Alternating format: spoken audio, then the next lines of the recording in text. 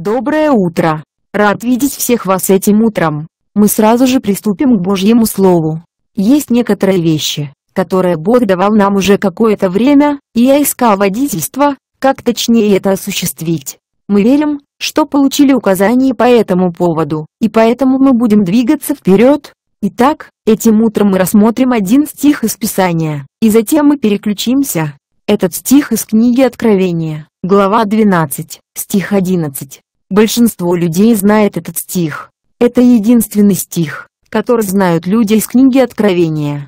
Там говорится, Откровение 12, 11. Они победили его кровью Агнца и словом свидетельства своего. И так а лучше я прочитаю весь стих, так как там есть еще одна часть, в конце. Откровение 12, 11. Они победили его кровью Агнца и словом свидетельства своего, и не возлюбили души свои даже до смерти.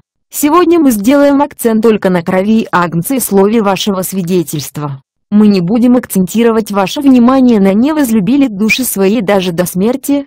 Мы сделаем это в другой раз. Но сначала я хочу задать вам вопрос. С самого начала эти служения в 9 утра были для людей, которые посвятили себя быть членами этой церкви, посвятили себя тому, чтобы быть наученными, чтобы стать действительно учениками, за следующие несколько недель вы увидите, что на самом деле Библия говорит об ученичестве, как это фактически работает.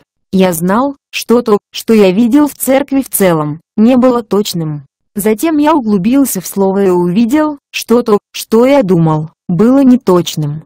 Теперь мы должны были изменить все.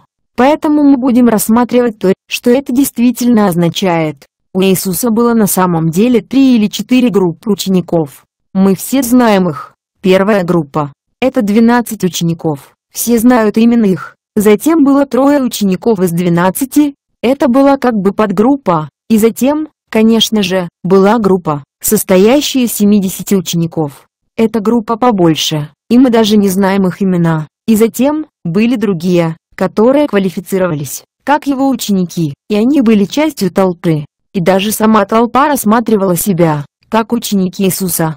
Таким образом, мы будем рассматривать разные аспекты этого, и что они означают. Мы только что вернулись из Англии, собственно говоря. Как многие из вас знают, это была чудесная поездка, многое было сделано.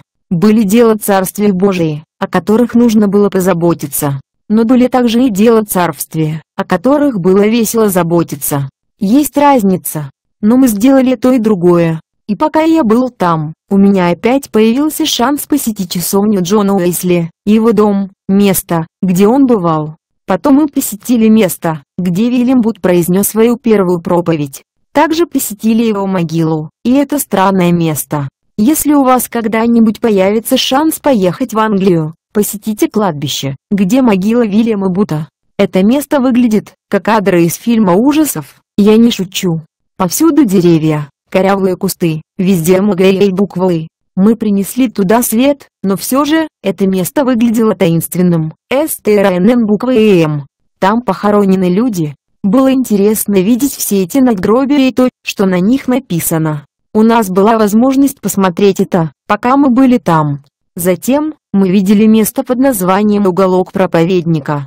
Тоже интересное для посещения. Мы поговорили обо всех этих вещах которые произошли там. Но самая важная вещь, которая произошла, когда мы были там, это обсуждение темы настоящего ученичества. Все лидеры из Европы собрались вместе. Я провел два дня, обсуждая, общаясь. Я фактически не учил. Это было больше, как общение с ними, чтобы знать, как мы можем им помочь, и как обстоят дела, и куда продвигается это послание. Происходят удивительные вещи. Феноменальное возрождение из-за послания, которое несет служение Джей, Джи, Тел, М, Джон Город Лейк Министрис, даже в католических церквях в Польше. Послание служения Джей, Джи, Тел, М проповедуется и там. И священник спасается и исполняется Святым Духом, и начинает проповедовать исцеление, начинает говорить, Иисус принес полное Евангелие для всего человека. Происходят удивительные вещи. Мы восторгаемся происходящему, и так здесь дела будут обстоить по-другому.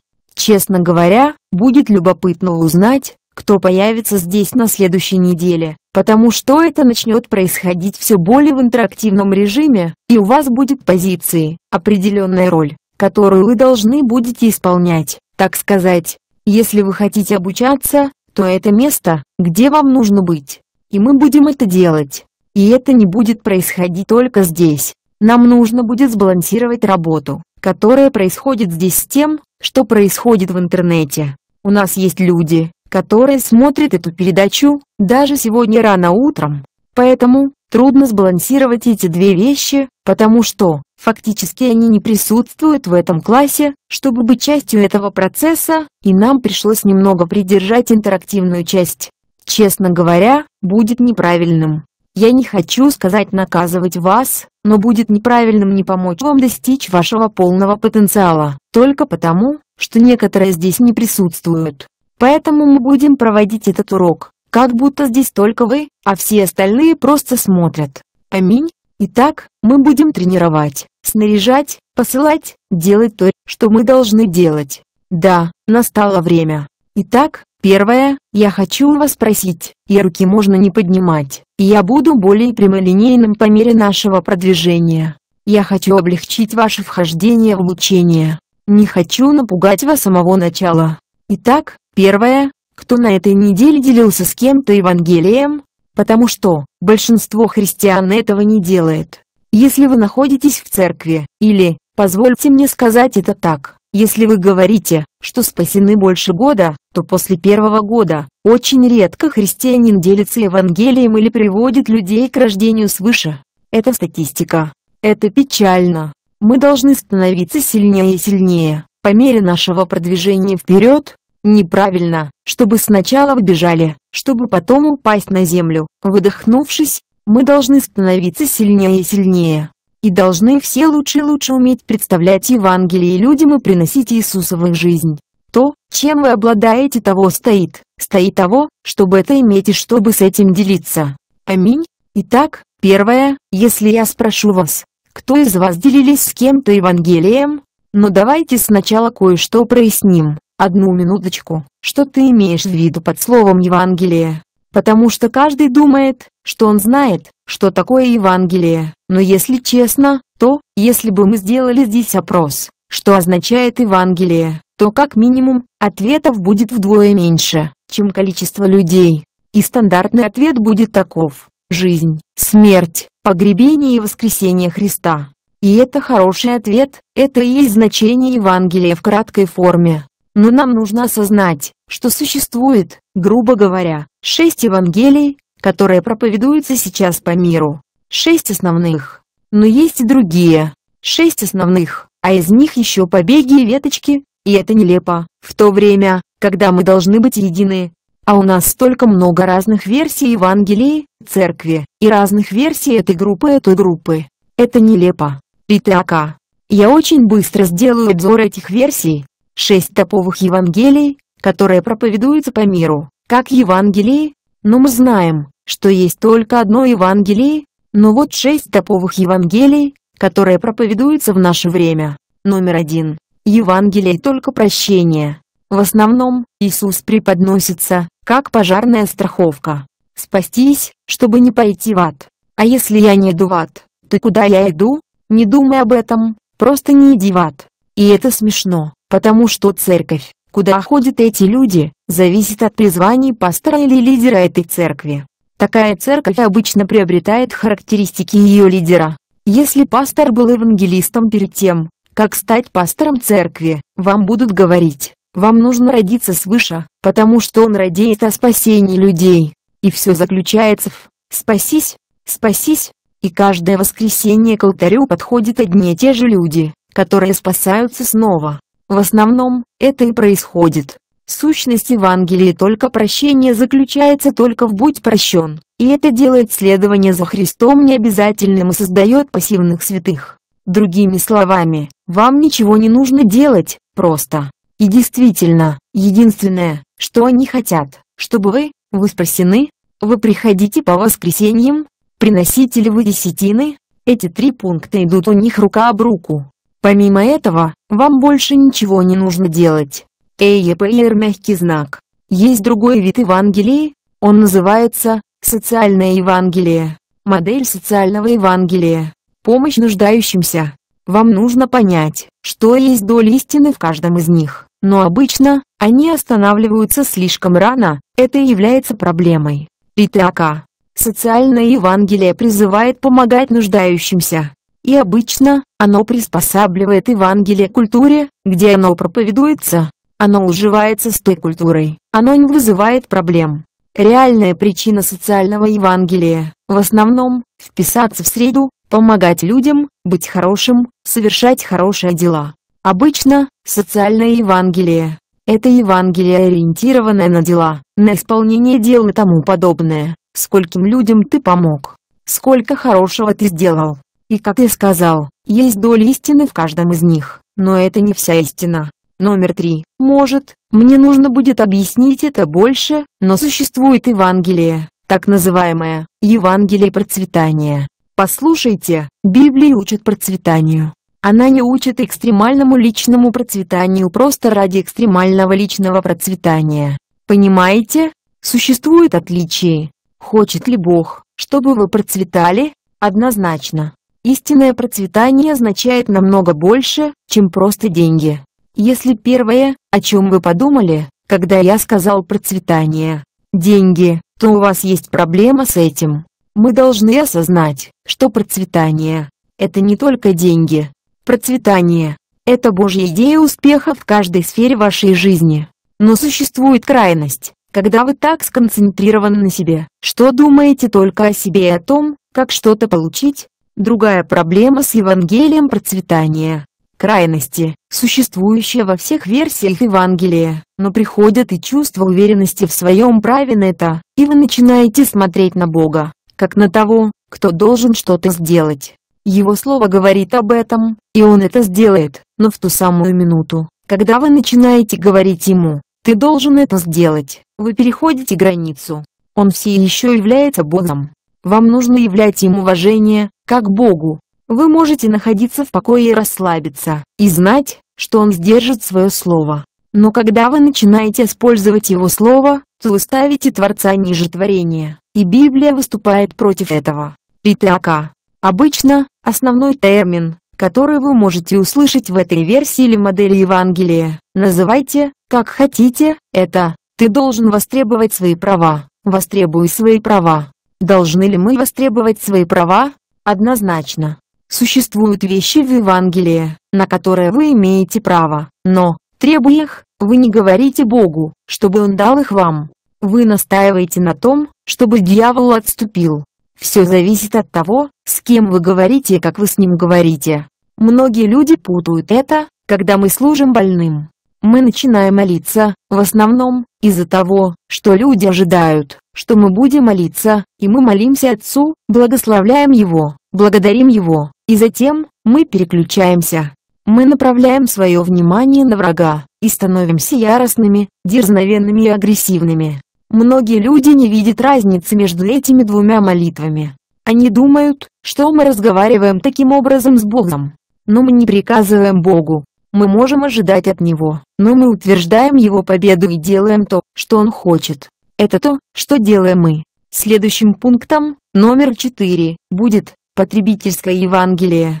Потребительское Евангелие означает, что речь идет только о восполнении ваших нужд. Это значит, эгоцентризм, сфокусированность только на себе. Потребительское Евангелие, в основном, когда вы находите, это как бы сопровождает так называемое Евангелие процветания, где человек востребует свои права и далее все в этом роде.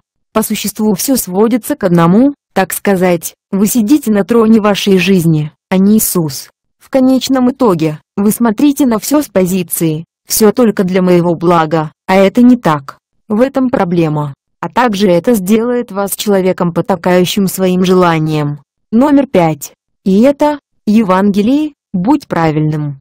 Должен признаться, однажды я был очень близок к этому, но не по тем же самым причинам, которыми я буду сейчас делиться с вами. Основанием Евангелия «Будь правильным» является то, что люди находят свою безопасность в том, чтобы поступать правильно. Это Евангелие «Будь правильным» ведет человека к гностицизму, к тому, что если я знаю, что я правильный, то это делает меня лучшим христианином, чем тот, который не знает об этом. Вот к чему это ведет. Скажу вам, это не моя терминология. Я взял ее из книги, которая называется «Обращение. Нет ученичества». Позвольте мне сказать это правильно, без ученичества нет обращения. Это прекрасная книга, это хорошая книга, она объясняет эти Евангелии, и я подумал, что мне тоже нужно упомянуть об этом в учении. Я сделал это вначале, и не хочу тратить на это много времени, но хотел бы вставить. Евангелие «Будь правильным» ведет человека к гностицизму, и это означает, что человека как бы водит, посвящают в тайны. И чем больше секретов человек знает, тем правильнее и лучше он становится. И это очень просто. Откровенно говоря, много из теологии слова «вера» имеет тенденцию вести человека к этому, если он не осторожен. Я часто встречал таких людей. Они приходят к тому, что у них появляются классы или уровни, как у системок, где христиане классифицируют людей, говоря, «Я знаю больше тебя, поэтому я лучше тебя». Ты знаешь больше, но если ты делаешь меньше с тем, что ты знаешь, то это делает тебя хуже. Понимаете? Знание – это не конечный результат, и даже быть всегда правильным. Каждое пробуждение, которое когда-либо потрясало этот мир, доктрина таких пробуждений была неправильной. Удивительно, не правда ли? И знаете, что убивает каждое пробуждение? Когда люди начинают разборчиво изучать доктрину. Как такое может быть? Вы бы подумали, чем точнее я буду, тем лучше будет пробуждение. Так не бывает. Это приводит к тому, что побеждая в одном сражении, вы терпите поражение в целой войне. Потому что людям все равно, сколько вы знаете, они хотят видеть вашу заботу о них. И я даже слышал это сам. И это правда. Иисус говорил о нас, о том, как люди будут узнавать нас, они будут видеть нашу любовь, мир. Они никогда не говорил такой о силе. Итак, Номер 6. Это не что-то новое, но это было переодето и называется новым, и все думают, что это новое откровение. И в целом, это называется движение сверхблагодати. Евангелие сверхблагодати. В своей основе, оно говорит, ты, в порядке, ничего не важно, грех не важен. Иисус заплатил за него. Ешь, пей и наслаждайся. Что бы вы ни делали, это не важно. И это извращенное Евангелие, Благодать никогда не была предназначена, чтобы давать разрешение грешить или остаться безнаказанным за что-то. Благодать дает вам силу подняться над грехом. Так просто. Обычно, результатом Евангелия сверхблагодати является притупленная совесть. Плохая новость заключается в том, что оно притупляет людей к любым делам. Не поймите меня неправильно, я не говорю о спасении по делам, я не говорю о том, что вы должны что-то сделать, чтобы спастись. Я говорю о том, что почти все люди, которых я встречал, и которые живут по сверхблагодати, когда им говоришь о делах Иисуса, они закрываются, думая, что вы говорите о том, что должны заслужить делами свое спасение. Если это правда, то что имел в виду Иисус, когда сказал «Веярующа», и краткое в меня, дело, которое творю я, и он сотворит, и больше сих сотворит, есть дело, которое мы должны сделать, есть добрые дела, которые Бог предназначил нам исполнять. И тот факт, что тут говорится дело, множественное число, означает, что это индивидуальные дела, не одно дело, а много действий. Это был номер 6. Номер 7. Истинное Евангелие. Номер 7.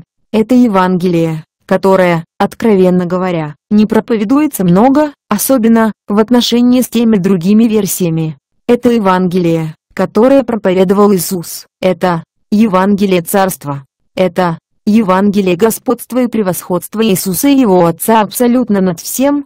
Вот так просто. Это истинное Евангелие. Это то, что проповедовал Иисус. Это то, что Он заповедал проповедовать своим последователям. И это то, что он передал нам. Я не верю в термин восстановления, в смысле того, что Бог восстанавливает определенные вещи для церкви, потому что, если это правда, то тогда это его вина, что у нас до сих пор этого не было. Я не смотрю на это, как на восстановление, я смотрю на это, как на пробуждение. Я не вижу ничего в Новом Завете, говорящего нам, что Бог что-то восстанавливает. Я вижу, что Он говорит нам пробудиться к праведности, и когда мы делаем это, мы пробуждаемся к вещам, которые истины.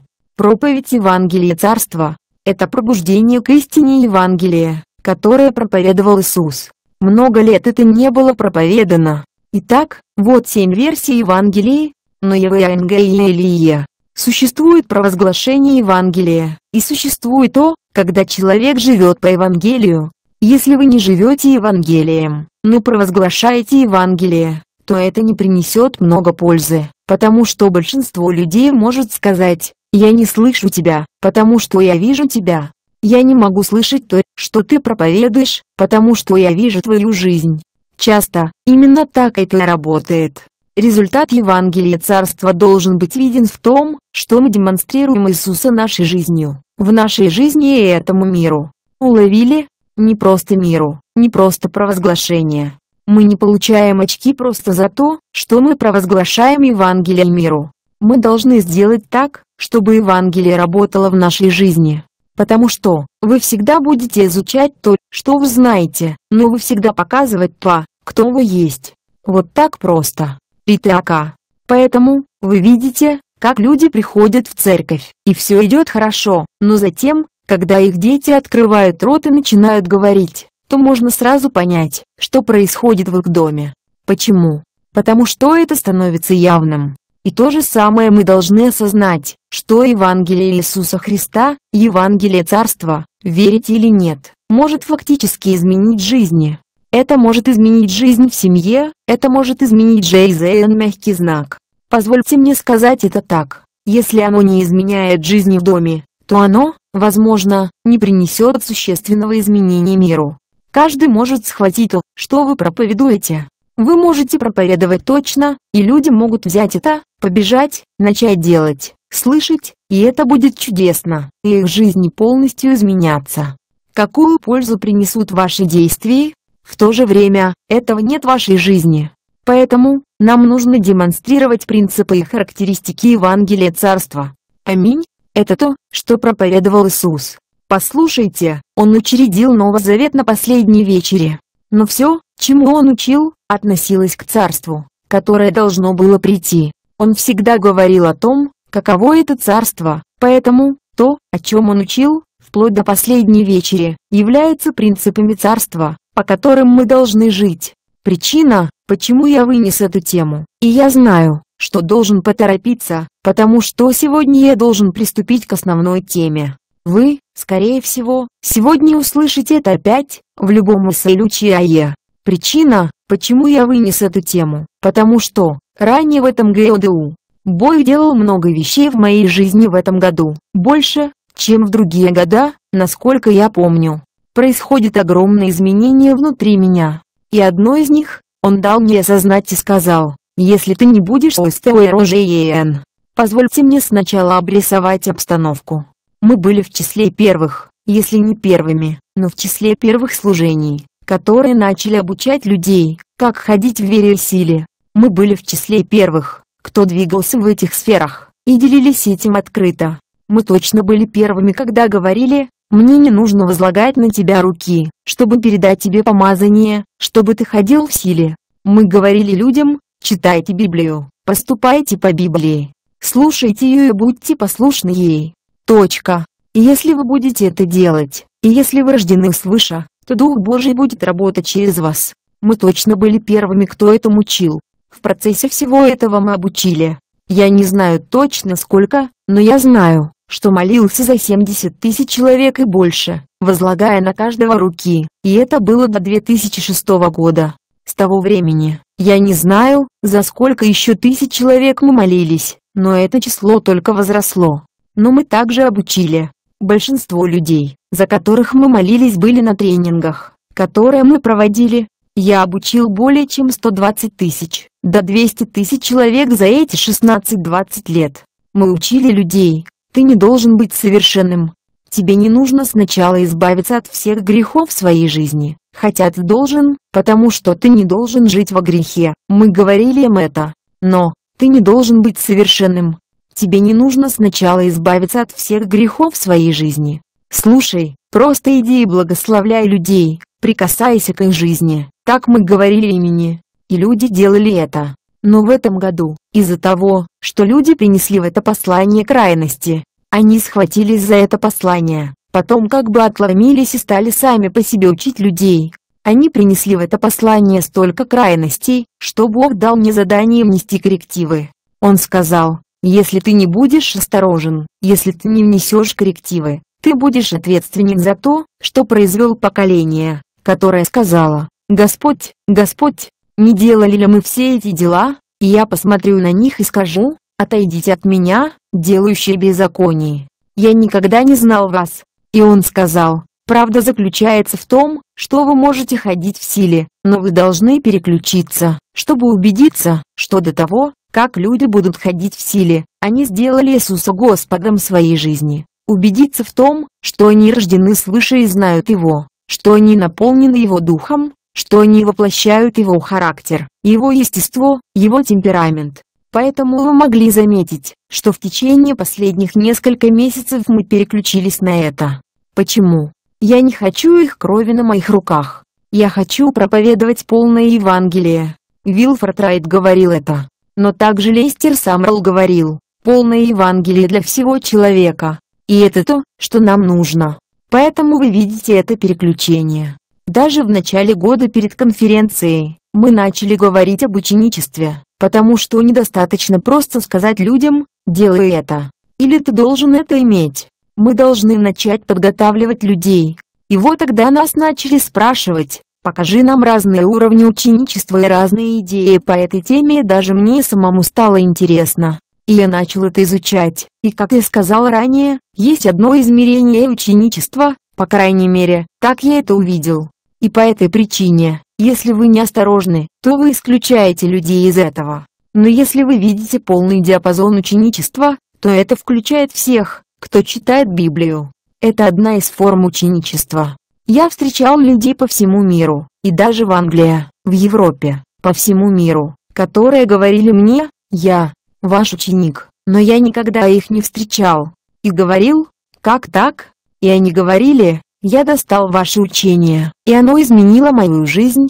Я получил вчера письмо от полицейского из Агая. Он был на семинарах техника божественного исцеления, который мы проводили в Орландо. Он рассказал, как это на него повлияло. Может, я прочитаю вам это письмо сегодня. Но он рассказал, как это послание повлияло на него. Он вернулся в свое отделение полиции и сказал, «Я больше не могу молчать. Мы.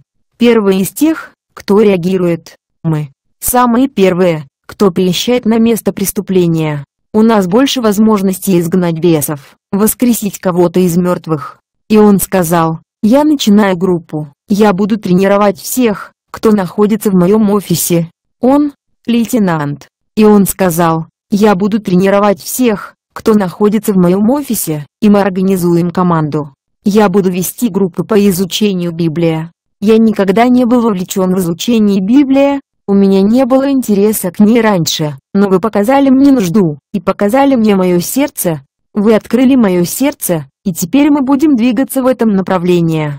Просто удивительно наблюдать, что может сделать Слово Божье в жизни человека. Аминь. И теперь мы будем помогать ему организовать тренинг для тех, кто прибывает на место происшествия первыми. Как я сказал, происходит очень много интересных вещей. Я рассказал вам о семи Евангелиях. Мы проповедуем Евангелие Царства. Мне надо поторопиться. Что же такое Евангелие? Необходимо рассмотреть это в деталях. И пожалуйста, я надеюсь, что вы не думаете, что это скучно. Но нам необходимо быть уверенными, что мы охватили все, поэтому мы будем рассматривать это по частям. Первое. Кто-нибудь может подойти ко мне? Может, Кае кратко это Т буквы и может раздать эти листы? Раздай эти листы каждому человеку. Спасибо. По существу, Евангелие – это жизнь, смерть, воскресение. Я даже сказал бы, вознесение Иисуса и результаты этого. Это определение, с которым вы можете работать. Вы согласны с этим определением, что Евангелие – это жизнь, смерть, воскресение, вознесение Иисуса и результаты этого. Вы поняли? Это означает, что все, что он сделал и результаты, сделанного им, в нашей жизни. Прежде всего, давайте зададим себе вопрос, какими являются результаты жизни, смерти, воскресения и вознесения Иисуса? Мы знаем, что это свобода от греха. Мы знаем, что это свобода от болезни. К этому времени вы уже должны знать это, находясь здесь. Это свобода от греха, болезни и беспокойства в разуме. Полное Евангелие для всего человека, дух, душа и тело. Свобода от греха, дух, свобода от болезни, тело. Свобода от психического беспокойства, душа. Полное Евангелие для полноценного человека. ЭЕПР мягкий знак. Результаты этого, результаты свободы буквы. Вы знаете, что вас могут провозгласить свободными, но вы можете не жить в свободе. Много лет назад в Соединенных Штатах люди были провозглашены свободными от рабства, но они не получили преимущества этого. Поэтому, мы должны знать, какими являются результаты свободы от греха, свободы от болезни, свободы от психического беспокойства. Это означает, свобода от греха, правильное положение перед Богом. Это означает, быть в правильном месте перед Богом, зная, что нет ничего, что стоит между вами, нет ничего, что может быть причиной проблемы, зная, что вы в правильном положении перед Богом и в одно с Ним. Это означает правильное положение перед Богом. Это означает, что по причине свободны от болезни, вы можете жить в здоровье, не просто в исцелении.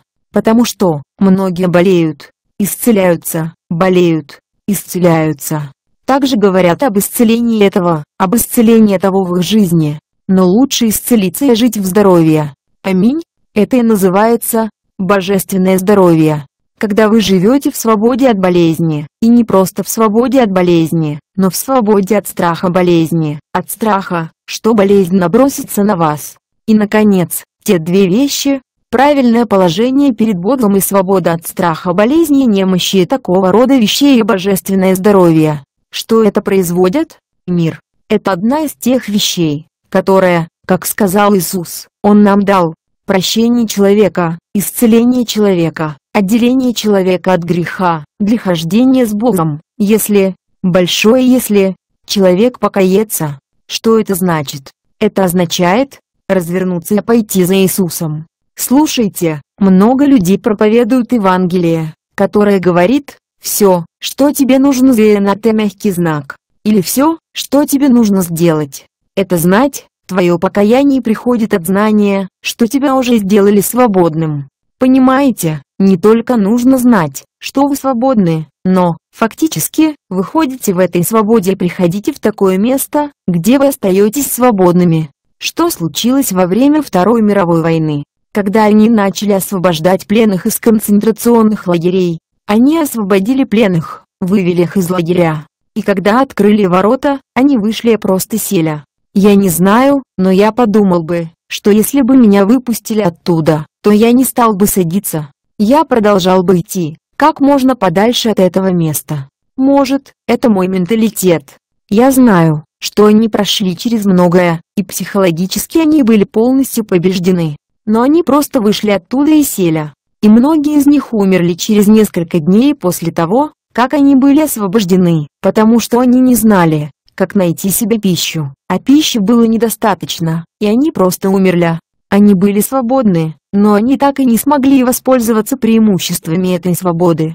Поэтому мы не хотим быть просто людьми, которых освободили. И фактически, люди гиперблагодати учат именно так. Ты свободен. Не переживай об этом. Но свобода, это не просто быть оправданным, что означает, что ваши грехи омыты. Свобода – это, когда вы ходите во Христе, только во Христе. Единственное место свободы – быть в нем и ходить в нем.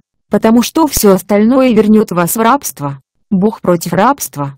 Ваши грехи могут быть прощены, но вы можете продолжать находиться в рабстве. А Он не хочет, чтобы вы находились в рабстве. Он хочет, чтобы вы были свободны. Единственное место свободы – это ходить во Христе, демонстрировать Его манеру, Его характер, Его естество, Его характерные черты, ходить Его путями, какие мы отметили ранее. Если человек кается, то есть, развернется и пойдет за Христом, если он сделает Иисуса Господом своей жизни. мыслей, слов идеи и краткое СТВ, и краткое. И это, процесс, никто не прыгает и мы немедленно изменены в духе, но, в то время, как наш разум обновляется, мы растем в освящение, мы растем в выделение для Бога и наша жизнь становится лучше. В то время, как наш разум обновляется в познание того, как мы должны жить. В духе вы сделаны совершенными и целостными в первый же день. Но каждый последующий день вы приводите свой разум в соответствие с истиной о том, кто вы есть в вашем духе. И вот тут у многих людей возникают проблемы. У них до сих пор есть старые привычки, старые отношения и тому подобное, что присуще ветхому человеку, который еще не был обновлен до того уровня, чтобы иметь мышление Христа. Итак, человек может измениться и стать абсолютно новым творением, абсолютно новой личностью без прошлого, и это хорошо. То, что у вас есть прошлое, это не одно и то же, что помнит прошлое. Вы должны быть способны его забыть.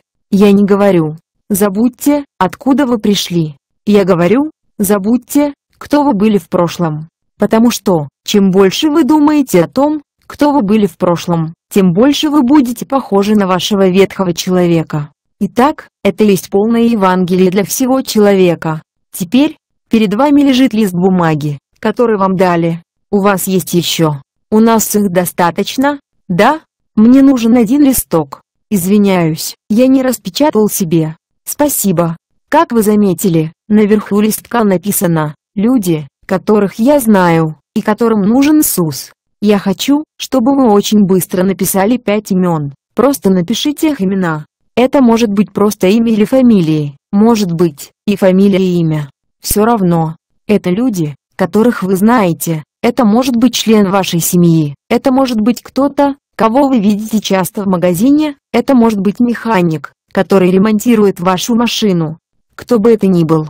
Просто напишите первых пять человек, имена которых всплывают в вашем разуме. Это может быть девушка, кассир в продуктовом магазине.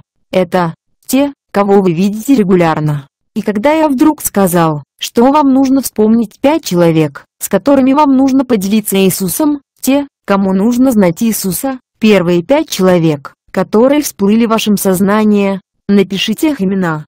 Я даю вам минуту. Напишите их имена. Заметьте, сразу же ниже написано, я посвящаю себя молитве за них чтобы они были открыты для Евангелия, чтобы они сделали Иисуса своим Господом.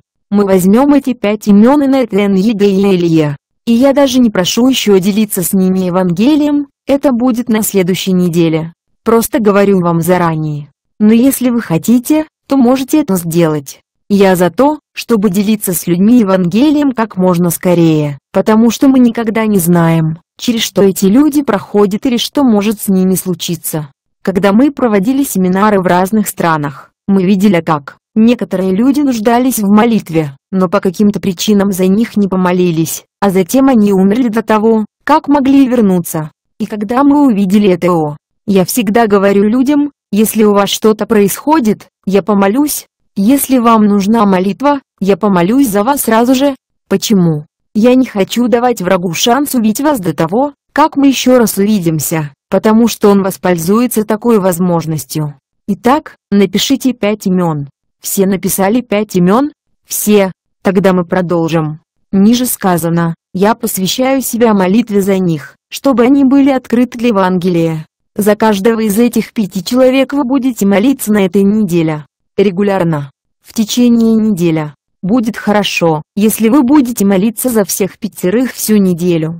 Проходите по списку и молитесь. Вот ваша молитва, чтобы они были открыты для того, что слушать Евангелие, открыты, чтобы слушать и принимать Евангелие и сделать Иисуса Господом своей жизни. Как вы будете это делать? Вы будете молиться, чтобы Бог просветил их и, чтобы Дух Святой начал двигаться над ними в них, и чтобы Он начал направлять их к Богу, и чтобы они стали готовы почвой, когда вы пойдете им свидетельствовать. Не переживайте по поводу, как свидетельствовать. Мы научим вас, как это делать. Мы будем обучать вас этому шаг за шагом. И вы сможете засвидетельствовать за 2-3 минуты. 2-3 минуты, или даже меньше. Откровенно говоря, мне нравится идея, чтобы подвести вас к тому, чтобы вы умели посвидетельствовать за 30 секунд. Но в то же время, чтобы быть уверенным, что люди понимают то, что вы делаете, мы научим вас свидетельствовать за 2-3 минуты максимум. Теперь, первое, я хочу, чтобы вы взяли этот листок и посмотрели на него. В следующей части говорится, что является Евангелием, мы уже об этом говорили. И вот тут вы должны быть, я не хочу сказать, осторожными, но более аккуратными, потому что происходит следующее. Существует очень хорошая система, как свидетельствовать, и она использует что-то похожее на то, о чем мы говорим. Немного отличается, но очень похоже. Но проблема заключается в том, что она пришла от группы людей, которые проповедуют Евангелие.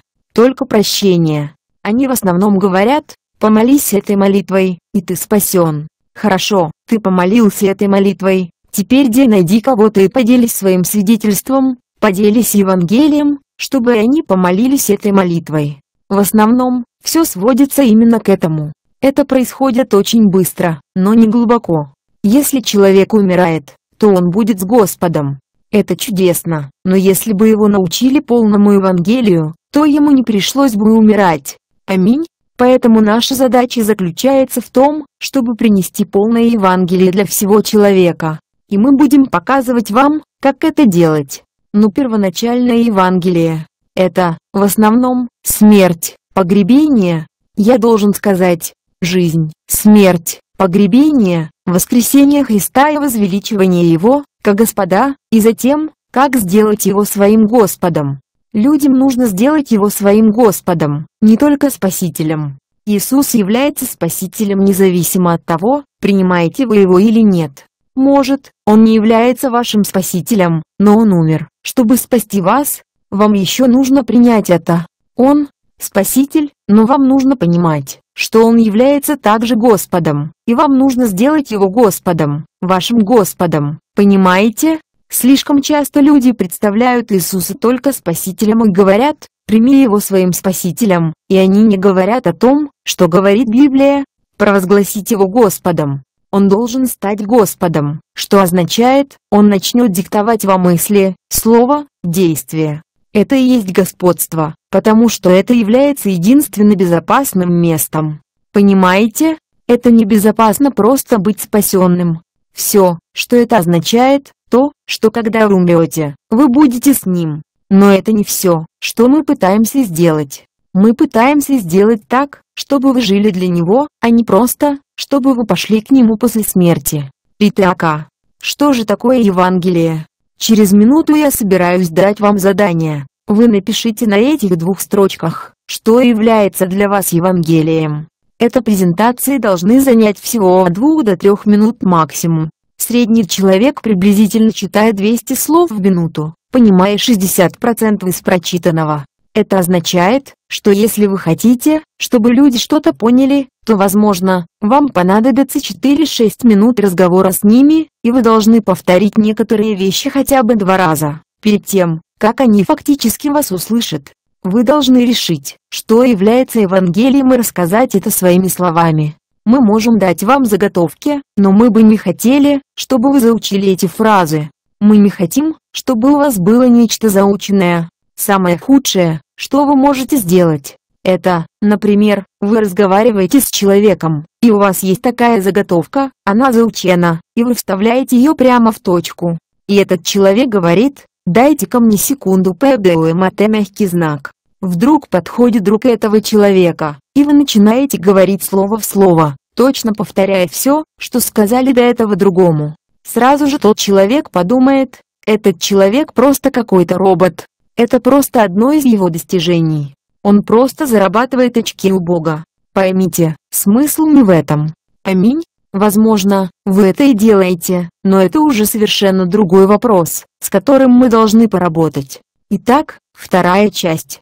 Помните, что в самом начале мы говорили о том, что написано в 12 главе Откровения, Откровение 12, 11. Они победили его кровью Агнца и словом свидетельства своего. Евангелие – это слово Агнца. Понимаете? Ваше свидетельство – это следующая составная. Как вы побеждаете? Евангелие – ваше свидетельство. Я не говорю о том, что вы должны стать теологом, я говорю о том, чтобы вы просто знали простое Евангелие, которое может восполнить любую нужду, любого человека, и чтобы вы были способны поделиться этим Евангелием и вашим свидетельством. Не чьим-то свидетельством, а вашим свидетельством, что Бог сделал в вашей жизни. Я скажу вам, я, благословенный человек. На этой неделе у нас дома был гость, который ездил со мной в Европу. И я был благословлен, потому что, моя жена не зная, что я слышу, говорила обо мне. И то, что она говорила этому человеку, я также слышал, как она упоминала об этом другим людям. И она говорила, это и плохо, и хорошо, но она сказала, что у нее новый муж. Я не хотел ее прерывать, я хотел слушать эту песню дальше. Почему я говорю вам об этом? Это является частью моего свидетельства, что Бог сделал в моей личной жизни за последние 30 лет, и особенно, за последние 6 месяцев. Это просто феноменально. Я не могу понять, как Он это сделал. Меня даже спросили об этом, какая произошла перемена, как это произошло. Я не знаю. Я даже не знаю, когда это произошло. Когда люди говорили, я исцелился. И я даже не знаю когда, я всегда думал, как можно не знать, когда ты исцелился? Но тогда я осознал, что именно так Бог исцелил некоторые вещи во мне. И я даже не знал об этом, но я живу по-другому. Это эффект Евангелия. Все, что я делал, это проводил время с Богом. Это все, что я делал. Я проводил время, поклоняясь Ему, благодаря Его. Я ничего особенного не делал. Я не проводил часы в молитве к Богу на коленях, плача и умоляя, Ничего такого. Я просто ходила с ним, и его присутствие стало таким сильным в моей жизни. И это меняет меня. Когда твоя жена замечает это, ты знаешь, что ты другой. Аминь. Потому что она знает вас лучше всех. Если вы не знаете, что является Евангелием, то мы вам сейчас поможем. И после вам нужно будет написать ваше свидетельство. Помните, что это свидетельство. Я слышал, как люди 45 минут свидетельствовали о том, что сделал дьявол в их жизни, и затем, две минуты, и потом я встретил Иисуса. Спасибо, Иисус. Аминь. И они заканчивали. Это не свидетельство. Свидетельство – это то, что Иисус сделал в вашей жизни. Аминь. Да, вы должны поделиться тем, откуда вы. Вы должны рассказать немного о вашем происхождении. Но я вам скажу, что если вы делитесь вашим происхождением, удостоверьтесь, что это то, что завершилось. Никогда не говорите чего-то, что может навредить вере другого человека. Я очень открыт к тому, о чем меня могут спросить. Я даже делился многими вещами с кафедры. В то же самое время, я очень осторожен, как я говорю о вещах, потому что я не хочу навредить чьей-то вере. Я же собираюсь молиться за них и не хочу, чтобы они думали, о, он сделал то и он сделал это. Но я этого не делал. Это натворил другой парень. Но именно Бог изменил меня. Ключ к свидетельству. Сделать акцент на том, к чему Бог привел меня через Иисуса, а не о том, как дьявол изначально меня использовал. Аминь. Итак, на этой неделе напишите ваше свидетельство. Вот ваше домашнее задание.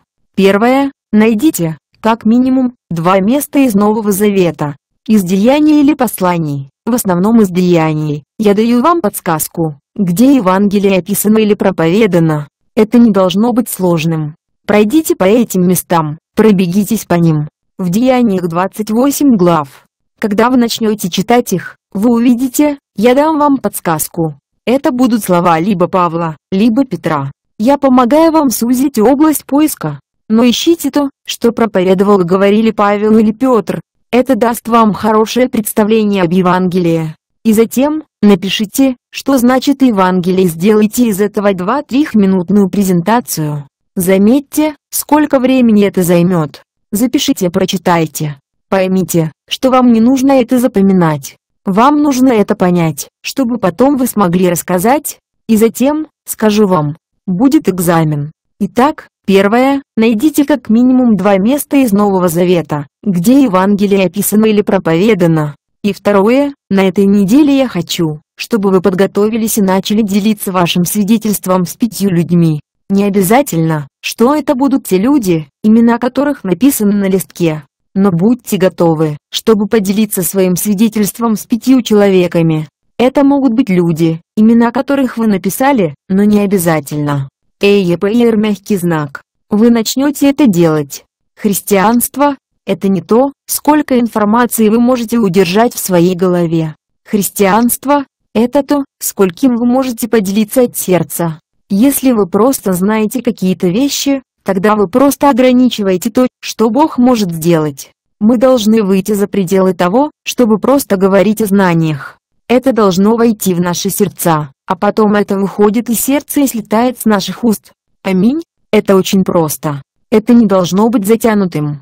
Это не теологии. И самое главное, когда мы рассказываем Евангелие, мы должны говорить в общем, но в результате люди должны увидеть истину. Но мы не хотим быть такими теологически подкованными, чтобы из-за этого начались дебаты.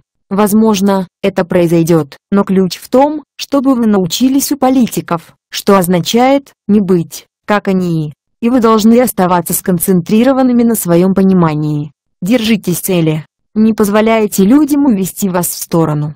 Вы находитесь там не для того, чтобы дискутировать по поводу обоснованности или не для того, чтобы ответить на вопрос, где Кая нашел себе жену? Вы там не для этого. Вы там, чтобы делиться Евангелием. Держитесь темы. Поделитесь Евангелием. Расскажите свое свидетельство. Послушайте, если вы начнете свое свидетельство, то это завершит многие споры, потому что люди спорят о доктринах. Они не могут оспаривать свидетельство.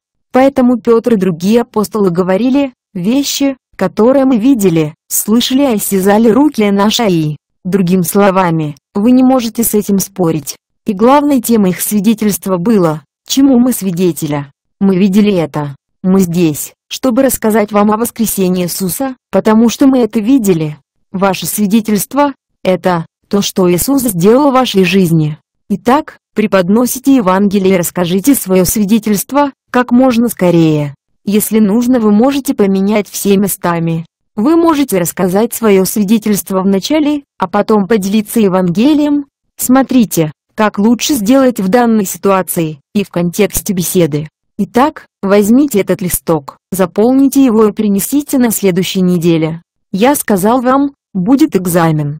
Как он будет проходить? Я задам вам конкретный вопрос. Выполнили ли вы все эти вещи? Я говорю вам заранее. Если я не увижу вас в следующее воскресенье, в 9 часов, я буду знать, что вы не захотели прийти на экзамен. Хорошо? Итак, вам нужно это сделать и сломить то плотское, что не хочет этого делать. И как только вы его сломите, вы начнете с большей легкостью оперировать в этом, и вам будет комфортно. Вы обогатились чем-то этим утром? Это все, что я хотел сделать. Я кое-что еще прочитаю. Расскажите, как вы приняли Иисуса Господом, и результаты этого решения и посвящения, которые последовали. Помните об этом. Это часть вашего свидетельства. Как вы приняли Иисуса Господом, как вы приняли это решение? Результаты и посвящения, которые последовали за этим решением. Вы не можете заставить людей просто принять решение. Должно быть посвящение. Мы будем говорить о шагах посвящения в следующий раз. В следующее воскресенье. Мы закончили. Вы что-то получили из этого? Позвольте мне спросить очень быстро. Честно, это ничего не изменит. Я буду делать то, что должен делать, вне зависимости от вашего ответа. Вы видите направление, по которому мы движемся. Что вы об этом думаете? Хорошо, мы потерпели поражение. Я потерпел поражение. Мы пытались построить эту церковь, по принципу того, как люди думают, какой должна быть церковь. И это не сработало. И ты начинаешь биться обо что-то головой достаточно долго и думать, может, не так это должно быть. Мы начали это, как тренировочный центр, и этим это и должно оставаться. И мы будем продолжать это делать. Мы будем поклоняться и все такое, но не на этом будет наш основной фокус, в том смысле, что мы не хотим создать еще одну церковь, как на другой улице. Это тренировочный центр, чтобы снарядить и послать вас на задание. Если в течение шести месяцев или года, вы куда-то уйдете, то я ожидаю, что у вас будет команда жизни или что-то в этом роде. Я ожидаю, что у вас отпечатается это в жизни, и если вас здесь нет, то вы делаете это дело где-то еще. А если да, то, да благословит вас Бог. Аминь. Мы здесь не для того, чтобы просто собираться вместе. Мы будем тренироваться и рассыпаться. Мы будем перекрестно опылять. Вот направление, в котором мы движемся. Я очень взволнован тем, что я вижу, этого я никогда не видел. Особенно в сфере ученичества. Можете начинать двигаться, а я буду продолжать говорить. Именно так это работает.